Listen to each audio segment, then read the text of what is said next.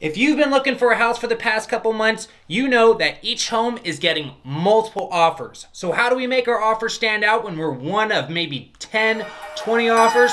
Let me tell you.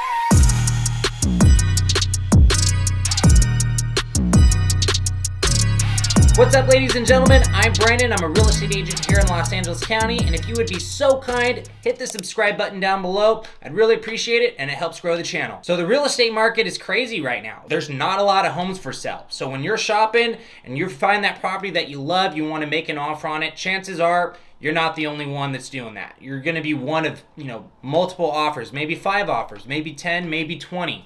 So we got to make sure your offer stands out. So thanks so much for checking out this video. I'm going to tell you my tips to make sure you are submitting a strong offer that's going to really make your offer shine over the others that have been submitted. When you are submitting an offer on a property, make sure you attach that beautiful face to that offer. Make sure you submit your offer with a picture of yourself and you attach that picture to a letter because we want to put a little bit of a personal touch on our offer to make it stand out. So you want to tell these sellers a little bit about yourself. Let them know who is the one that's going to be living in their home. Tell them where you're from, how many people are in your family, what you guys do, what you guys loved about the property, and what it is that you loved about the neighborhood. Think about this. You've been living in your home for 30 years. Now's the time for you to sell it. Maybe you want to go out of state. Whatever your plans are to do, it's time for you to sell that property. Now you've become close with the neighbors. You have them over for Christmas. They've become like an extended part of your family. Wouldn't you want to make sure that the new person that's going into your home would be a good fit for that community?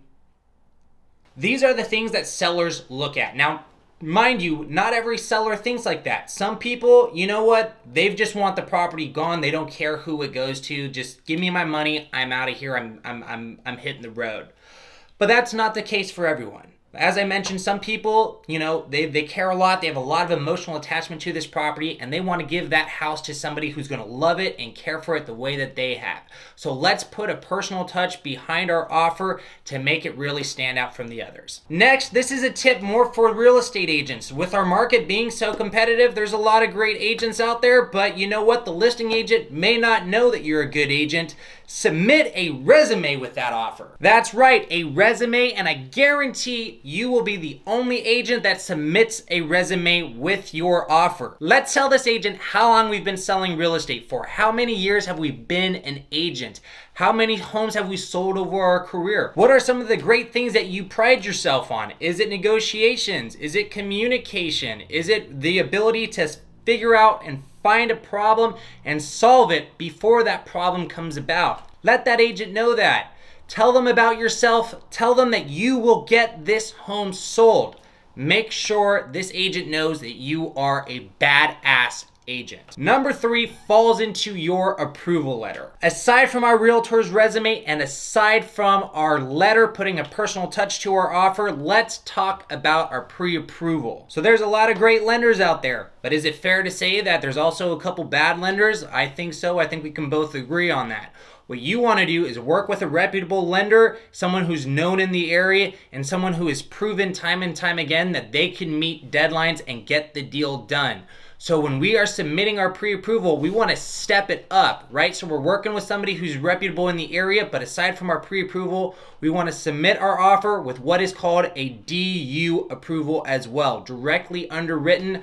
I'm not going to get into that because that's not my side of things. Just know that when you're speaking with your lender and you're getting ready to submit an offer, ask if you can have a DU. Directly underwritten may be called something different in your state. I'm here in California. That is how we refer to it, directly underwritten. Next is contingencies. I'm sure you knew I was going to bring that up. We have our home inspection, our appraisal, and our loan. And I'm sure I'm not the first agent that you've heard bring up removing that appraisal contingency. But I may be the first agent to tell you not to do it. A lot of realtors are gonna tell you the market, it's so incredibly fierce, let's go ahead and remove our appraisal contingency. That is not the way to necessarily play this, especially right off the bat. We don't need to be swinging for the fences as soon as we submit our offer. The sellers, if they like your offer, they're gonna try and work something out with you. Instead of removing those, those contingencies right off the bat, what I like to do is shorten them. What's important to sellers is the essence of time and people moving in a timely fashion. So shortening those contingencies, we're getting all questions, all potential problems worked out as fast as we possibly can when escrow is open. That doesn't mean you have to remove that appraisal contingency and just, you know, hope it appraises and there's not going to be any problems. You don't need to do that. I've been selling property for several, several years now. I've probably only removed that appraisal contingency two or three times in my career, and I'll tell you multiple times I've beaten out offers with an appraisal contingency when I was competing against offers that had removed that contingency. It's not a make or break situation, and if it is, the sellers are gonna send that to you in a form of a counter. Review that counter with your agent. That agent should be someone you trust and is working on your behalf. They will give you their uh, input as to what they think is the best move for you to do. I want to give another tip for the agents. When you are submitting an offer, nothing makes me more annoyed when I get a random offer in my email that says, please see attached. I've never spoken to you before. Heck, I don't know if this is a blind offer or not. I don't know anything about the clients and I just see, I don't know anything about you either. All I just see is uh, please see attached and there's an offer attached to it. Don't do that. Call these agents. Say, hey, my name is Brandon. I'm with 123 Real Estate and I just showed your property here. Hey, aside from price, what are your sellers looking for in an offer? You see how I said that? Aside from price, what are your clients looking for? Because price is not only the determining factor.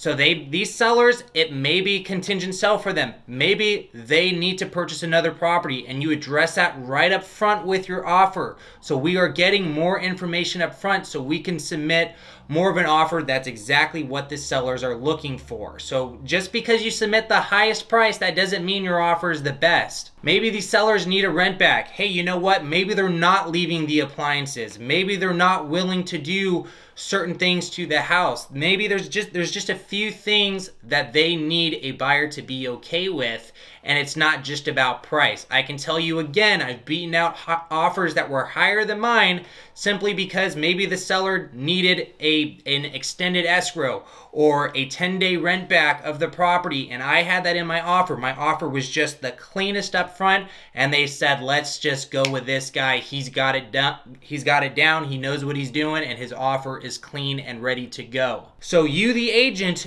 do more legwork up front. Call these listing agents for these properties that you're submitting offers on. Tell them about yourself. Tell them that you're an amazing agent. Find out what their clients are looking for other than price. So when you are submitting your offer, it is exactly what the sellers are looking for. And when you are submitting your offer, type up a nice email with it, not please see attached type up a nice paragraph of who you are, you know, what your clients liked about the property, and then summarize put together the highlights of your offer so they can see before they even open up the attachment what it is that you're offering. Tell them about it up front. Just be upfront with your offer and be uh, and, and send over something nice explaining who it is that you are. Okay, so if you've listened this far and you've taken the advice that I've given you, I already know that offer is going to be looking badass when you submit it. But let me give you another piece of information and a little bit of advice.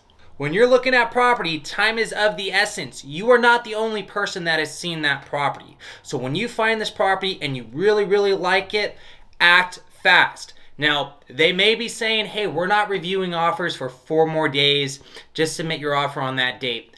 Don't do that. Get your offer in right away. Who's to say that seller doesn't change their mind? You submit an offer that's just super clean. They see your letter, they see that beautiful picture of you and your family or just yourself, your you and your kids, and they say, "I don't want to wait anymore. I want to I, I, like these people. I like there's something about them. I want to entertain this offer. Hey, can we uh, can we respond to it? See if we can just lock this up tonight." You were going to wait till Friday when there was six other offers, but you got in there right away. You were the first offer and you know what? They liked it and they said, "Let's just let's just pull the trigger now and do it." Imagine that. And hey, I bet you got it at a better price too because they didn't counter six other people. I mean, how nice would that be? You're thinking you're not going to hear an answer for five more days, but instead you hear back in a couple hours? Would uh would you not be happy about that? And I got one last tip for you guys, and this one is the biggest one, the most important one before all the other ones I have given you. So listen closely to what I am about to say. You're gonna go through a period of time of doubt. If you've submitted five offers and they've all been rejected, you are probably thinking about giving up. Don't do that. I'm telling you, when it's the right property, it will come naturally. Do not force something to happen. Do not get yourself in a position where you're bidding up higher than you'd like to than, than you feel comfortable with. Okay, if it's not meant to be, it's not meant to be. That right property is going to come along. You've been searching for months. You've gotten beat out on 12 other properties and you're so frustrated. Then one more property comes along and you said, I was I said I was giving up. I wasn't looking at any more properties, but this one's the one. This is it. You go look at it. You submit an offer and they don't even want to look at wait wait for other offers to come in. Yours just comes in and they say let's do it. If it's meant to be, I guarantee you it will be easy. So be patient. The right property will come along, and when it does, it will fall right into your lap. Trust me. That's it for this video, guys. Thank you so much for watching. I really appreciate it. If you haven't done so already, make sure to hit the subscribe button down below. Leave me a like, leave me a comment. I'd really appreciate any feedback you guys have for me. Again, my name is Brandon Peters, and I'll see you in the next video. Take care.